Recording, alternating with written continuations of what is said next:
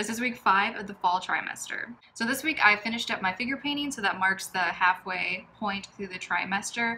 The figure paintings are five weeks long, and we finish it up Friday. Kind of. Matt said he might hire Maddie, the model, to come in on a Saturday, but I'm not sure if that's gonna happen or not, so I'm calling it done-ish now, I guess. So this week, it's all about finishing up the painting. And the whole time, Matt has been really talking to me a lot about painting technique, about leaving a brush stroke down and not smearing it or over blending it too much, but being confident in paint strokes. So I was trying this and two things were happening. Either I was leaving the paint strokes down, but they were looking too choppy, like there wasn't enough transitions and paint strokes next to each other were just too contrasty or harsh, which means not enough transitions so things weren't looking unified. Or because things were looking choppy, then I would start blending things together and mixing paint on the canvas. So that was kind of giving the over blended smeary look, which was kind of making colors in certain areas either be chalky or get muddy and just not looking very attractive.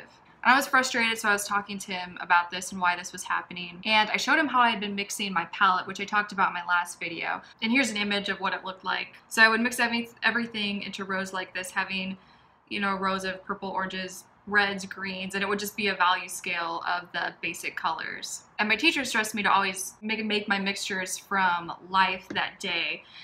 And so I thought I was doing that, so I would have those mixtures, which stayed pretty consistent between the, the rows of those basic colors with the value scale. But if, for example, if the light was more gray and Maddie looked more gray from the light, I would just gray down those colors. And then if she was more vibrant, I would just saturate the colors more. But Matt said instead of mixing up a palette like that, which I'm just like almost making the colors of her skin tone formulaic, Instead, I should be mixing specific colors for the specific areas of her body. And it just clicked then, like, of course I should be doing that. Because if I was doing what I was doing before with kind of having the formula of those colors, it would be impossible really to apply just a value scale of green, oranges, blues, purples all over her entire body. Because for example, I can find green all over her body, but the green that I find on her shoulder is probably going to be more vibrant. Then the green on her arms probably going to be more like of a brownish green, and maybe the green on her foot is going to be more like purplish green that's grayer. And so I think why my painting technique was either looking too choppy and harsh or the opposite of over blending everything and things kind of getting muddy was because not how I was literally handing the paint from brush to canvas, but was rather my mixtures that was messing it up. And so to fix this, I worked on Maddie's arm in the painting. And it's basically just different browns. There's some red browns, purple browns, green browns, some brighter ones and some dark ones. Some are more saturated and some are more grayed and more neutral. And so I would be mixing colors on my palette with my palette knife and hold it up to the spot in the painting that I was going to be applying to.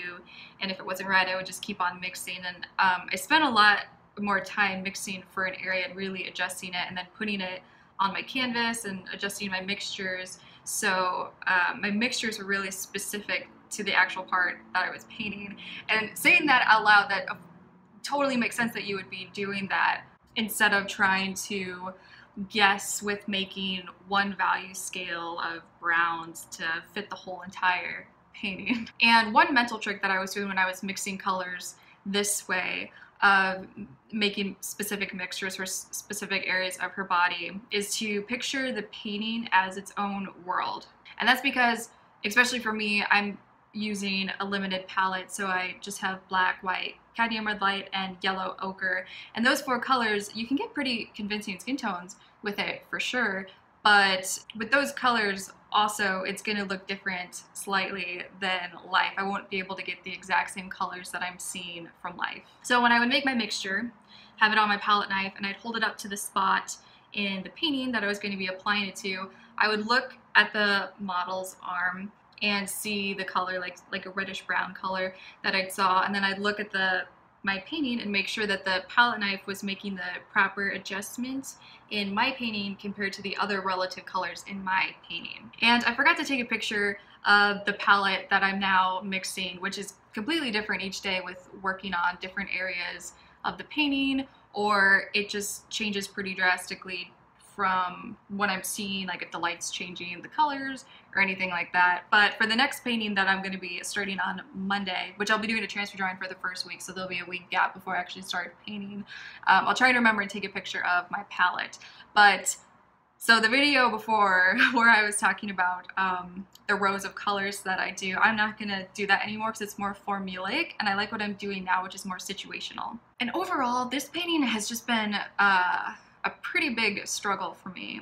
But I did figure out a lot of things. I definitely learned a lot of things, but I didn't get it to the resolve that I wanted to. And I always try and make the painting that I'm working on now better than my last one. Always trying to push the bar higher. And this is the first time that my piece didn't follow that. And in fact, I think it's actually worse than my last two paintings. And I'm not discouraged. It's kind of a downer though. But I did learn so much working on this painting. But I'm really excited to start the next one and apply everything that I've learned on the next painting so I can just make the next one as great as I can. For my cast, I'm still working on the transfer drawing. I put the eye shapes on the babies and doing that just brought so much life to the transfer drawing, which is really exciting to see. And I'm still working out the exact placement of everything. Working big like this, I'm finding it challenging to really judge distance as well.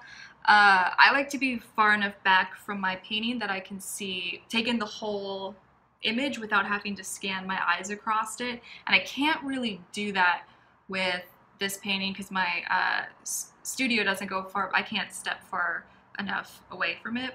But I'm sure when I graduate and leave Ravenswood, I'm probably going to be in a small studio for a while, so this is probably just good practice for that. And then it's also a challenge working with, usually I'm working with one figure, and this cast has four. So Matt just had a trick for getting all of the babies in place, specifically the heads, is to almost imagine, or you could imagine the heads as beads on a necklace and seeing how they fall in relation to each other. It's just like a mental trick.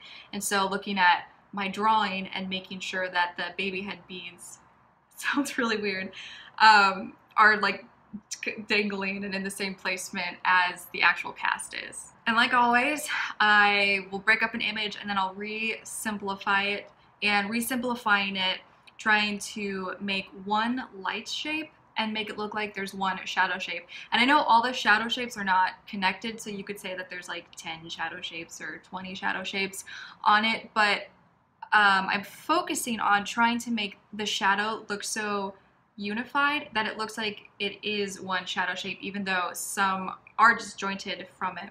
And that's the trick with simplifying it. And um, if you can do that with making it look like it's one shadow shape and one light shape that means the structure is really really strong. So I'm still working on uh, getting it to look like that.